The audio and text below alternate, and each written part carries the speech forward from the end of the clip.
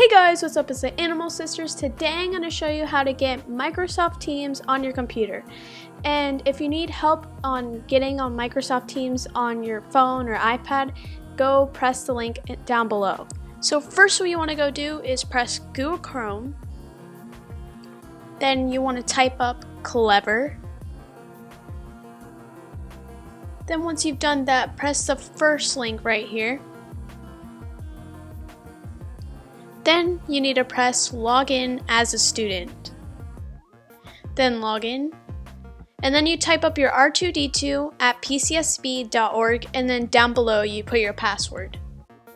So now that we're in Clever, you see that my Teams is up there and it's favorited. So how you do that is you find Teams, um, you press that heart button and then it'll just go up there. So you press Teams and you can see that I'm on the activity button and it shows all your feed, all the notifications, and if your teacher has posted any new assignments, it shows up right there.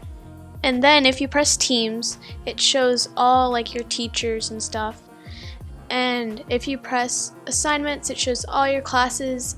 And if you press on one class, it shows you if you have any assignments. Currently, I don't have any assignments right now. And then if you go to calendar, it just shows you the dates. Nothing really important there. Then if you press files, um, this is where you can like share things with your friends and stuff. Just shows all the files, all the stuff you've done in the past.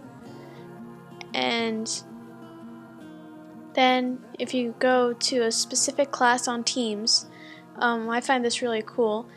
My teacher gave us a class notebook, and it's like when you have an online notebook. Like, here's my online notebook. I just did these notes. I'll show you right here. Like, these are my notes for my class. That's my homework.